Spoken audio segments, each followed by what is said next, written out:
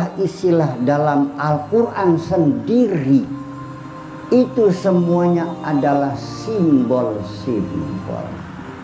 Mari dengarkan. Huwallazi khalaqa samawati wal arda fi sittati ayyam wa kana 'arshuhu 'alal ma. Arasnya Allah di atas air. Eh, ini simbol Jangan bilang Aras itu kerajaan betul-betul kayak kerajaan Majapahit. Paham di sini Itu namanya Aras. Kalau Nabi Sulaiman ketika membawa arsya Bilqis wa nakiru laha arsyaha di di apanya di di roba-roba dikit ya supaya pangling uh, Ratu Balkisnya itu setelah hadir dia langsung mengatakan ahadza arsyuki jawab Bilqis qalat ka'annahu huwa. Itu aras yang beneran. Pas begini ada lagi aras itu. Si Nabi Yusuf membawa bapak ibunya ke aras ke tempat yang lebih tinggi. Nah aras itu apa sih bukan aras kerajaan. Itu hanya simbol saja. Lalu kursinya Allah gimana? Di aras lu kursinya Allah Allah duduk di kursi gitu. Wasi'a kursi samawati wal ard. Kursinya Allah seluas langit dan bumi. Segede apa kursinya? Gawenya tinggi itu kan simbol-simbol. Kursi itu apa sih? Bukan kursi ini orang santri kalau buka kitab arane korasan koras. Ah korasan di kararis kursi. Artinya ilmunya Allah. Bahwa ilmunya Allah meliputi semua langit bumi semuanya diketahui oleh Allah. Dan kolam apa? Itu simbol penanya Allah. Kayak apa? Loh mahfud itu apa? Itu semuanya simbol-simbol jangan dimaknai sendiri paham? Bikin gitu angel pak tetusakan tak pernah untuk untuk apa zaman kemakan betul enggak semuanya simbol-simbol. Jangan diartikan kita seperti pikiran sendiri bahwa kolamnya Allah ya Allah ya Rabbi. Artinya kursi itu ilmu Allah dengan keilmuannya kekuasaan Allah dan itu itu apa maning ning kana ya romo kana ki apa maning ning ning Gusti Allah? Di dunia saja di dunia saja. Saya mau nanya nih ibu-ibu sekalian. Presiden kita siapa namanya? Jokowi, sebelum Jokowi siapa? Ada berapa presiden di Indonesia? Yes. ya satu dong. Sebelum Pak SBY siapa? Megawati. Sebelum Mega? Berarti presiden berapa di Indonesia? Satu. Wakilnya? Satu. Saya mau nanya. Di mana nempelnya presiden di Pak Jokowi? Di kepalanya, di pundaknya? Di kursinya? Di rumahnya? Kelihatan nggak presiden? Itu Bapak Jokowi. Nah sekarang beliau bisa menandatangani mengeluarkan uang 100 triliun tangannya, kretek, kretek, kretek. Yang bisa mengeluarkan uang 100 triliun itu sebagai pribadi Bapak Jokowi, sebagai presiden. Di mana tempatnya presiden? Tangan tidak bertempat. Itu mah istananya. Itu mah orangnya. Itu mah kursinya. Presiden mana? Presiden sebagai konsep ada dalam pikiran kita. Dan presiden juga keluasan kekuasaannya di konsep. Batasan-batasannya di konsep semua. Berapa tahun lamanya di konsep semuanya. Percaya nggak? Setelah Gus Dur tidak jadi presiden bisa nggak dia ngatur pangan? Jadi presiden ini konsep apa materi? Jadi ini semuanya pilpresnya itu simbol-simbol. Jadi paham-paham baik sekarang terus paham bikin Allah tidak bisa dilihat betul? Tidak bisa diraba betul? Presiden bisa dilihat tidak juga bisa diraba. Kalau pengen itu orangnya tuh Pak.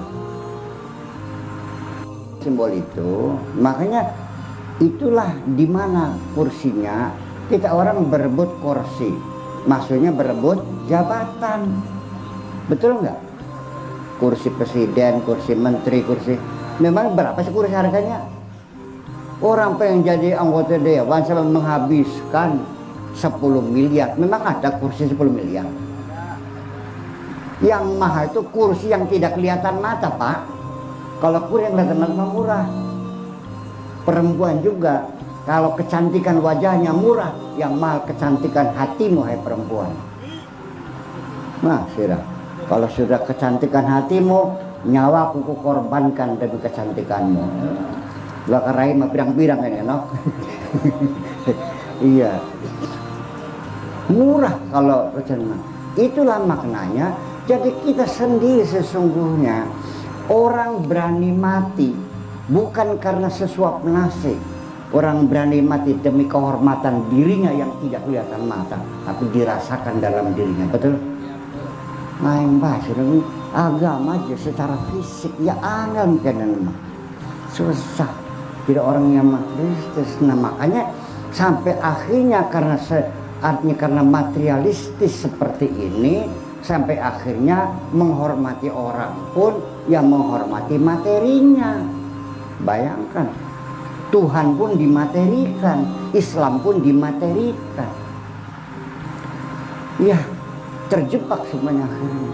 Akhirnya menghormati orang ya karena materinya waya sugim apa wong tangga ke sajuna-juna oh, rubung-rubung bae sedulur ponakan semua pada ngaku sedulur kabeh. Waya melarat mambu. Paham? Tamu datang pakai baby bag. Kacamatanya riben. Tasnya ecolak. Sepatunya pakai bili yang harganya 15 juta Ya Allah, tuan rumah tergopo-gopo buka lawang berampak. Ya, mangga mebelnya yang kotor dikebasi pakai sorbannya. Mangga ini nunjuknya pakai jempol. Betul? Minumnya ditawarin. Apa minumnya, Pak Haji? Teh tubruk, kopi, coklat, susu. Iya kan? Kue-kue dari Australia keluar semua betul? Waya sing teka bitar me. Sing guri mancingnya jabure metu bodokan boleh. Pengen dodok kawan cukup dewek kalau saya sing kok bojok karena apa kita menghormati karena materi bukan menghormati manusia. Itulah orang yang tidak kenal dengan simbol-simbol ini Iya. Iya. Percayalah. Kita juga hormat sama orang tuh bukan hanya fisiknya. Karena masalah fisik mah Uang tua kalau debat kalau kita masa menanya kalau kalau pakai logika sayang umpamane anak uang tua siraku metune sing ada kelawan kedingko rasanya sing telak sing pertanyaan kita sering metune koplok ya terus sira ko pegel oleh ngapain kita? Oleh nyusoni. Jadi kita ini dikokon siapa? Kengelan kengelan kadar gasame ngebeli niat berapa ya kita? Ya ternyata kesenang senang dewek ya saya kan keluar hanya akibat dari. Itu resiko kamu. Ayo kamu tak lebih ya, udah nggak usah berdebat. Kita orang itu untuk sebagai simbol kehormatan. Makanya Allah sendiri menghormati orang tua pada kesimbolannya makanya wabil walidaini dengan walidaini bukan abawaini bukan. Sih nah kalau warisan ya lalu abawaihi oleh abawahi sudusu bagi sepertiga buat ibu bapaknya abawai kalau abun umun tuh yang melahirkan. Kenapa pakai walidun? Sebagai penghormatan kan? Atas kesusah payahannya Al-Quran hebat loh. Bangsanya apa sih? Nah bikin jadi kalau hidup tanpa simbol-simbol kering kerontang blena ya kan? Ki, karena materialisme kebendaan ini sampai anak bega sing di alam-alam anak sing surga pasti melarat kanda maning kasan kasanku di Jakartanya rumahnya 5 miliar.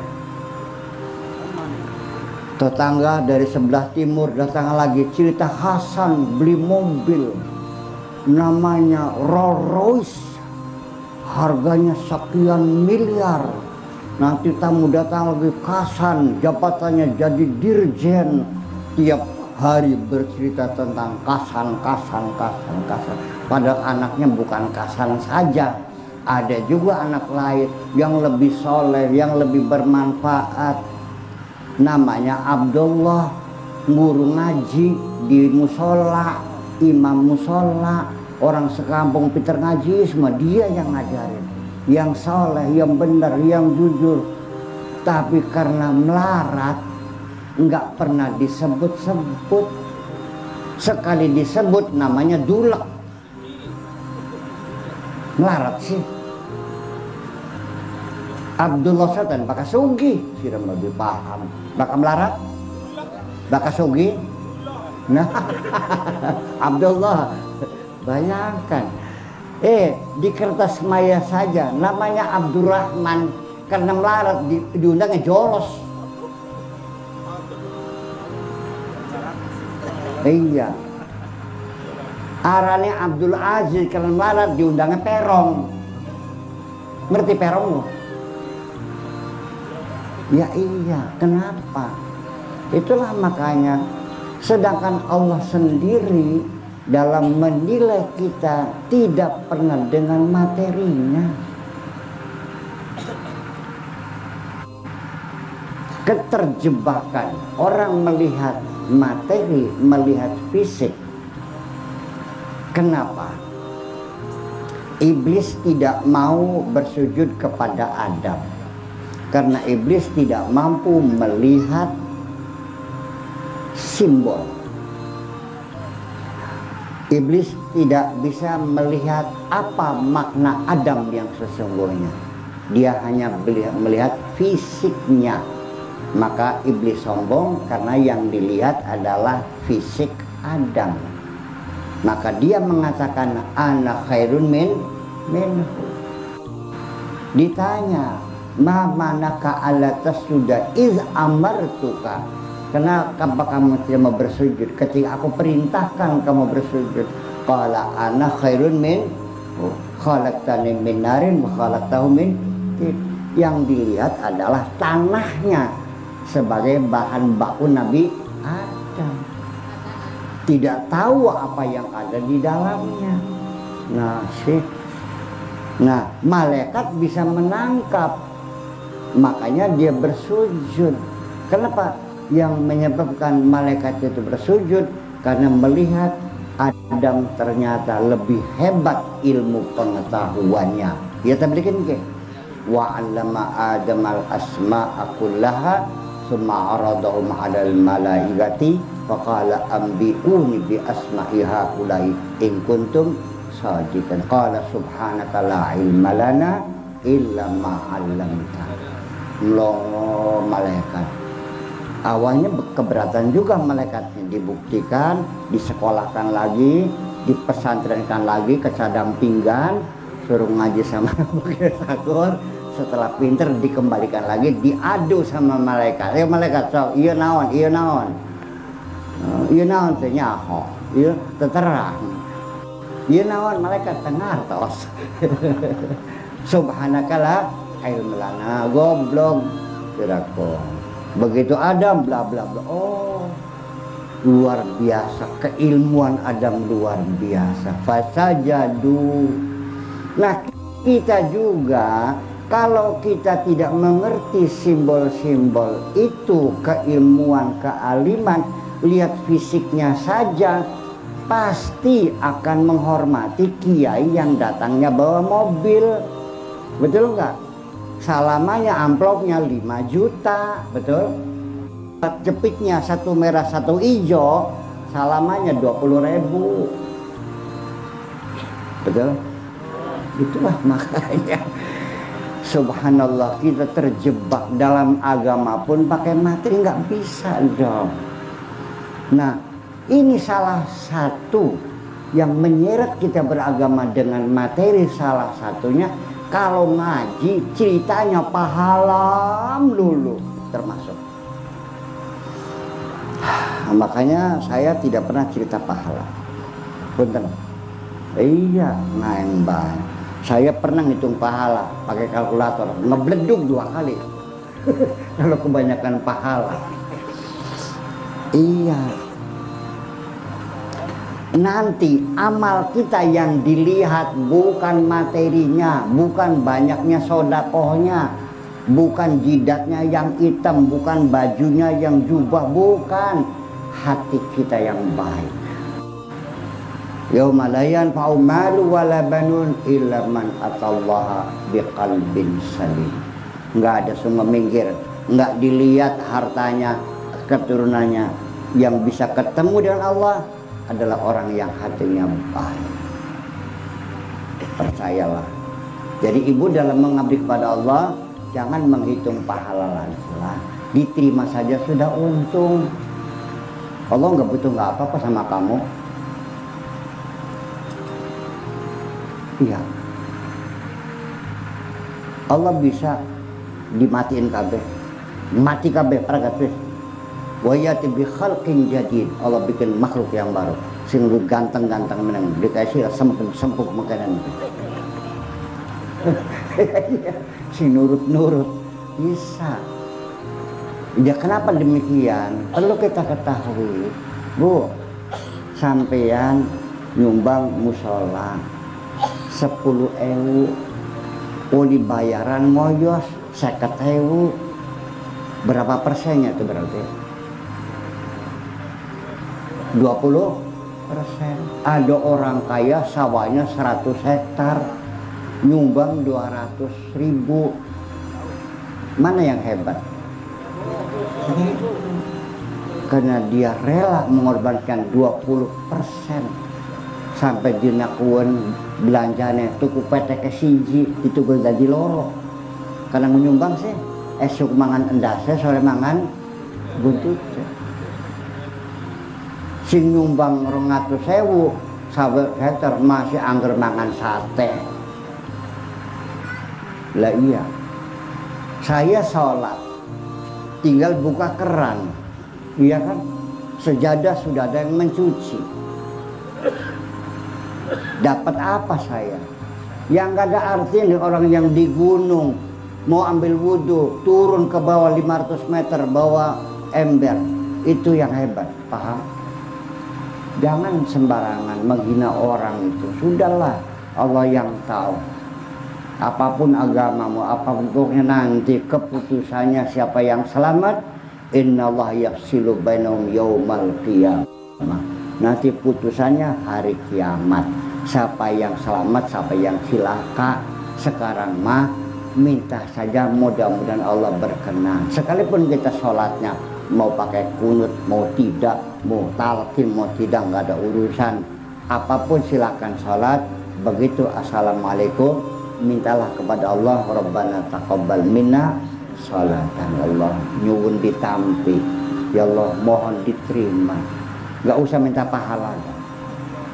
Iya